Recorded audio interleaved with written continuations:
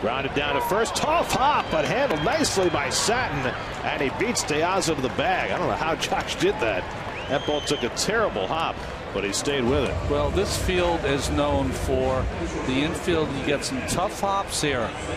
And Satin makes a good play of staying with it. Catches that ball kind of on his hip and then beats De to the bag. I don't know if Wheeler was going to get